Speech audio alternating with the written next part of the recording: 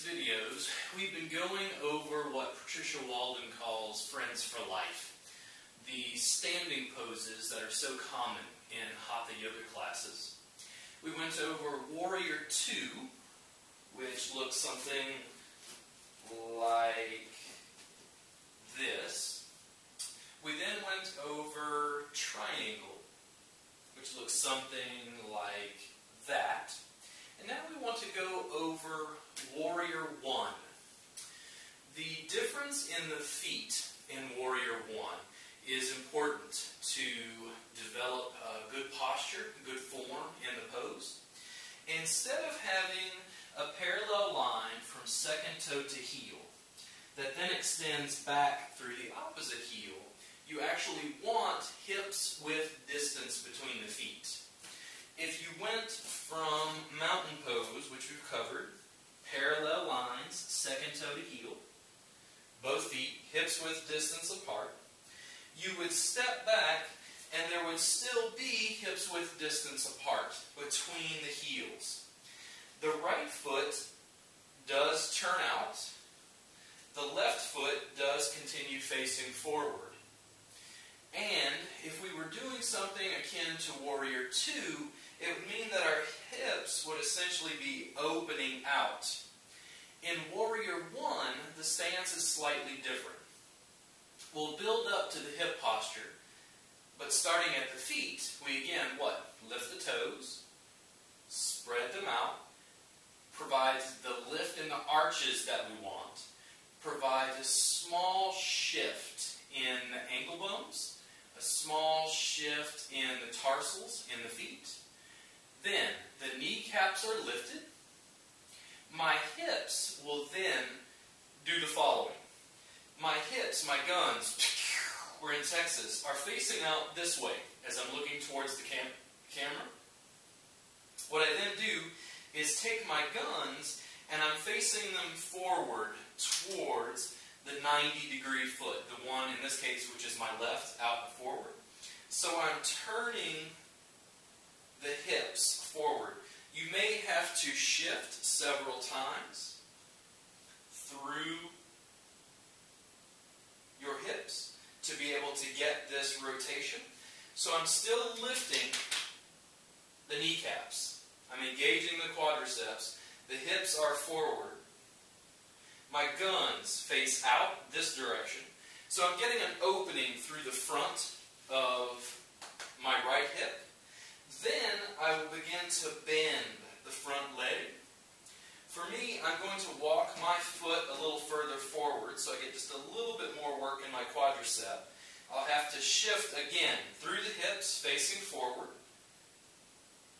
and 90 degrees through the leg the hips, the guns face forward. And the arms can start out if you prefer. You can play with the arms, the rotation, movement of the arms. You can have them out in the front. Again, still 90 degrees. The knee is always above the ankle.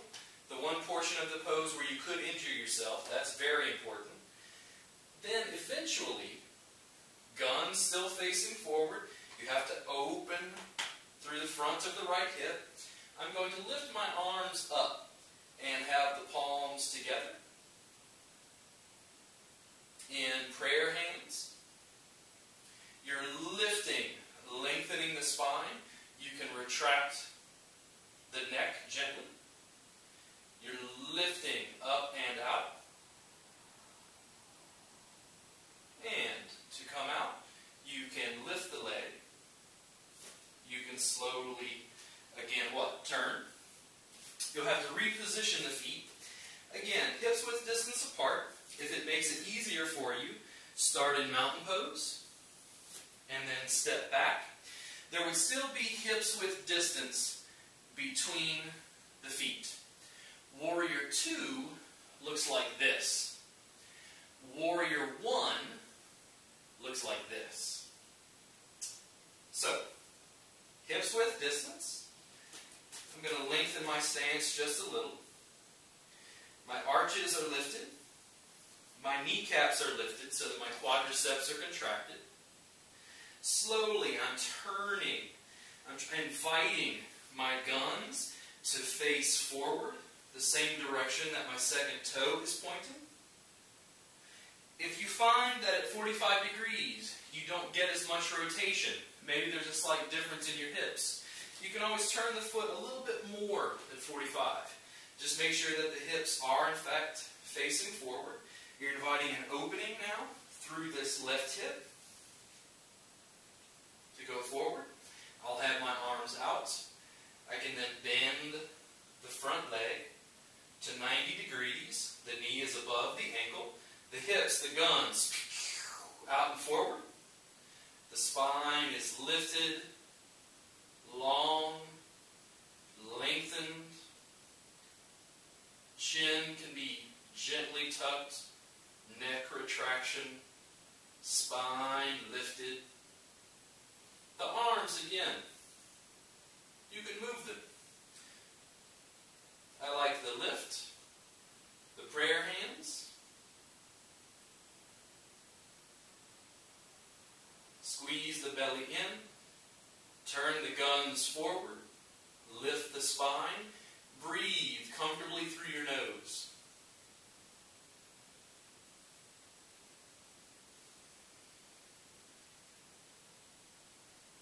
When you come out, you can lift the front leg.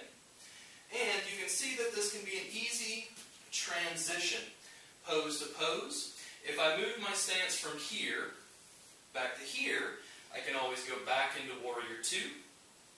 I can always lift and shorten my stance and go into triangle. So you can very easily transition from pose to pose. They have slight uh, differences in the hips, in the mobility, rotation, stretching, and strengthening of the hips. And most of them have a commonality of trying to strengthen the legs.